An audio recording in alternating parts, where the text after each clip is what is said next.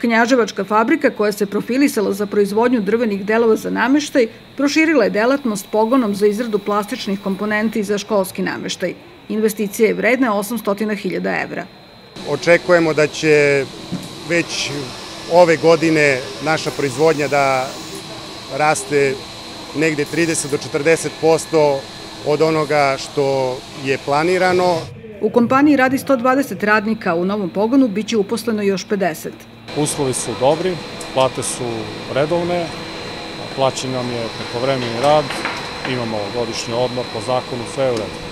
Zahvaljujući Fondu za razvoj, kompanija ulaže još 400.000 evra u proširenje kapaciteta.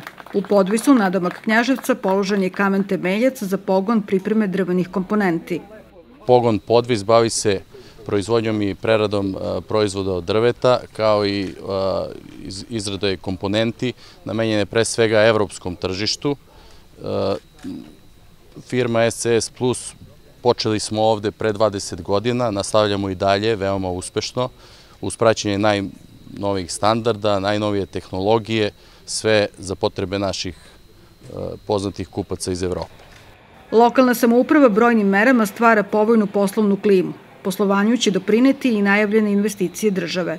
Sa rekonstrukcijom puta Vratarnica Knjaževac, e, sa uvođenjem režima poslovanja slobodne zone upravo u ovom području e, stvorit ćemo uslove da kompanije posluju bolje, da zapošljavaju više radnika, da ih više plaćaju i nadamo se da će doći još mnogo novih poslodavaca koji će uposliti Knjaževčane.